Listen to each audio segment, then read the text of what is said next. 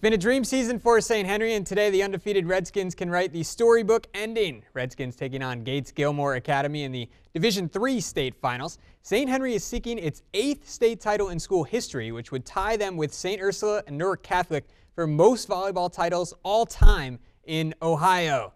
And the entire St. Henry community at the Nutter Center today. Whiteout, the theme. First set, skins swinging big. Savannah Worms on the slide, 7 2 red and Madison Broering. Back sets to Olivia Niekamp. Big smash leads up to seven. They keep the pressure on. It's Niekamp again. Off the block and out. Redskins win the first set 25 14. Sets two and three different story. In the third, Julia Roskowski, the middle hit. Gilmour goes up two sets to one.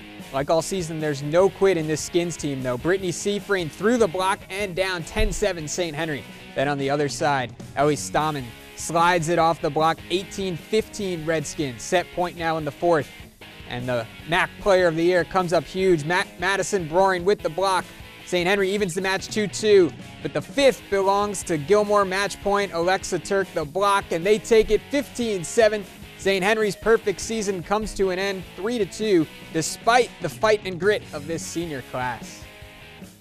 They made their parents proud, they made their coaches proud, and they'll remember this as long as they live. Um, it might have not, like I said, been the outcome that they wanted, um, but they will remember it. You don't just get to the state championship game by a fluke. They they earned every single point. We're the type of team, no matter what the score is, we're going to keep trying to fight. But Gilmour just had the upper edge on us, and they didn't. They were relentless and didn't give up.